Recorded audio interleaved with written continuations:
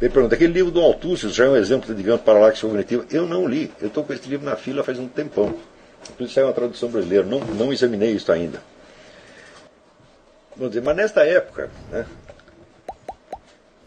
é, logo posterior ao Renascimento, é, praticamente tudo que se escreveu ali já vem com paralaxe cognitiva desde o início. Por quê?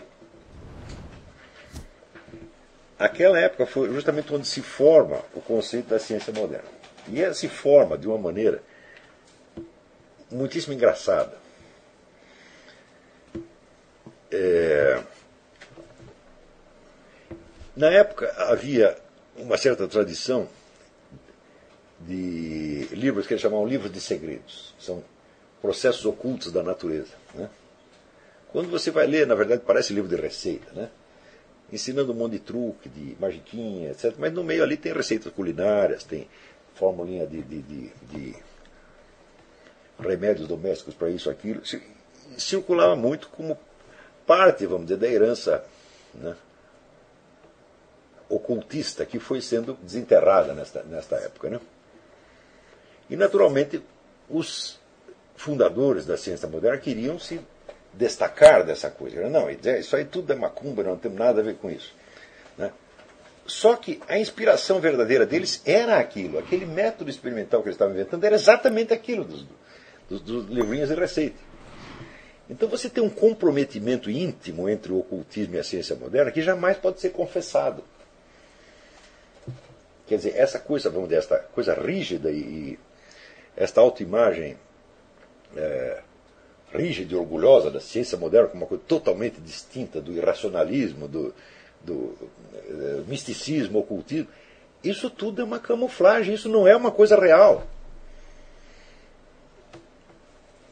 As relações entre ciência e ocultismo são tão íntimas, mas tão íntimas que é impossível separar uma coisa da outra. Não dá mesmo. Tá certo? Claro que isso é um assunto que terá que ficar para mais tarde, um assunto, vamos dizer, de, de história das ideias, até nem de história da filosofia, mas nós vamos voltar a isso é, algum dia. Mas, nesta época também se observa, paralelamente, um outro,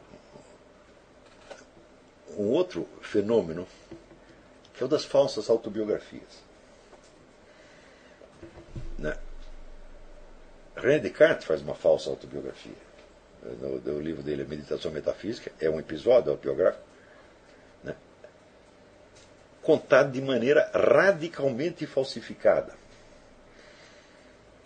E oferecendo ao mesmo tempo aquele, aquela experiência como fundamento de uma nova filosofia. Eu digo, bom, então, quer dizer, os dados que você está contando já são falseados, recortados de acordo com o interesse que você tem. Você está dizendo que a coisa é uma narrativa real, mas é apenas uma figura de linguagem que você inventou para camuflar a experiência real. Então, é, os ensaios de Michel de Montaigne é tudo inventado, é falseado, é um conjunto de procedimentos de retórica para dar a impressão de que ele está sendo muito sincero quando não está. Né? os escritos autobiográficos de Maquiavel é tudo falseado também. Tudo, mas, mas é uma profusão de falsas autobiografias. Ao mesmo tempo, vai surgir o romance moderno. Começa a surgir o romance, que é uma história inventada, não a pretensão de ser verdadeira, mas que através da ficção transmite alguma verdade profunda da, da natureza humana. Então, a partir dessa época é o seguinte: só dá para falar a verdade mentindo. E, só, e quando tenta falar a verdade, também está mentindo. Tá então, a verdade se torna objeto da ficção. Né? E a ciência tem um elemento ficcional e mágico ali dentro que ninguém quer reconhecer, mas que está ali presente, e que hoje a gente percebe com muita clareza. Né? Então, falando, esta é a época da paralaxe cognitiva. Mas foi ali que o Ocidente aprendeu a mentir. Quando passa dois séculos, né? chega no século XVIII, a mentira já é aceita como um procedimento intelectual normal. Por exemplo, Voltaire de Diderot. E com o tempo, vamos dizer, é, você vai aumentando este negócio da mentira e você pode. Quando você chega a ter né, fenômenos como, sei lá, da, da, da União Soviética. Você vê um conjunto de mentiras que é imposto oficialmente até, sei lá, 300, 300 400 milhões de pessoas. É? Todo mundo sabe que aquilo é mentira, mas todo mundo tem que dizer amém. Eu digo, mas o que, que loucura é esta? Como é que chegou nisto? É? Você estuda as origens da ciência moderna, você vai descobrir. Essa ciência ela foi uma grande descoberta, mas ela veio com uma tara hereditária. E nós temos que cortar essa tara. Essa tara foi o quê? A rejeição da presença total. A ideia de que o mundo das ciências pode coincidir com o mundo real. Ele não pode coincidir com o mundo real. Eles são construções feitas humanamente em cima do mundo real. O, o, Husserl inibido pelo subjetivismo tradicional, chamava isso o mundo da vida, o Lebensfeld, quer dizer, o mundo da nossa experiência. Eu digo, mas não é disso que eu estou falando, estou falando do mundo, não é do mundo da nossa experiência, estou falando da presença total que está abaixo da nossa experiência, está fundamentando a nossa experiência, que todos nós sabemos que, tem ali, que está ali, sem que tenhamos a experiência diferenciada dele. Mas é esta presença que possibilita, como diz Lavelle, possibilita a experiência e lhe dá toda a sua importância. Então, vamos dizer, sem a experiência da presença total, o resto não significa nada. E foi isso mesmo que a ciência moderna amputou. Amputou por quê? Porque ela já nasceu escondendo a sua própria origem. Ele vinha como, vamos dizer, uma, uma, um resíduo ocultista tremendo que jamais foi extirpado.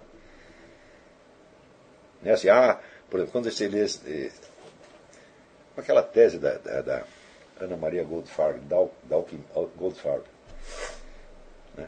que era é a esposa do meu, foi, foi o meu primeiro editor da Nova Estela, muito boa gente. Tá? Então, da alquimia à química. Né? Então dá a impressão, não, o negócio começou como ocultismo, mas depois virou ciência. Para, né? O elemento ocultista está presente lá até hoje. Vocês apenas o camuflaram. Tá certo? E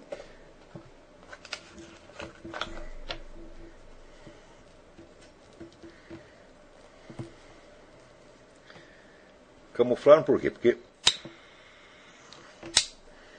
na origem das ciências modernas havia, vamos dizer, um, uma revivescência de seitas ocultistas que tinham ficado mais ou menos escondidos durante a Idade Média e que de repente voltaram e falaram, agora nós vamos tomar o poder. É isso. Então nós vamos derrubar a Igreja Católica e nós vamos tomar o poder. Fala, bom, mas nós não podemos aparecer com aquela cara de feiticeiro, porque senão eles nos queimam e nós vamos nos desmoralizar. Então nós vamos encobrir com outro negócio e vamos, vamos dar a impressão de que estamos num terreno neutro. Então, este é um dos mitos fundadores da sociedade moderna, mas é um mito. Porque quando você lê livros sobre o iluminismo, diz, não, no iluminismo predominava ali né, a razão sobre a mística, etc, etc. Está absolutamente falso. Absolutamente falso. O conceito que eles tinham da razão é um conceito eminentemente fetichista e mágico. Né? Então, quando você observa a cultura real da época, você vê que nunca pularam tantas seitas ocultistas, tanta, nunca houve tanta macumba quanto durante o iluminismo, praticado pelas mesmas pessoas que estavam ali arrotando razão para todo quanto é lado. Então, existe, dizer, quando existe dizer, o mito fundador, também tem a mentira fundadora. E nós temos que ter a coragem de sondar e descobrir. Falar, alguém mentiu lá para trás, depois a geração seguinte esqueceu que era mentira. E viram o quê? Uma neurose, que é a neurose da definição do meu amigo Ronald Fred César Miller, a mentira esquecida na qual você ainda acredita. Então, como nos livrar da neurose? Descobrindo qual foi a mentira ancestral e parar de acreditar nela.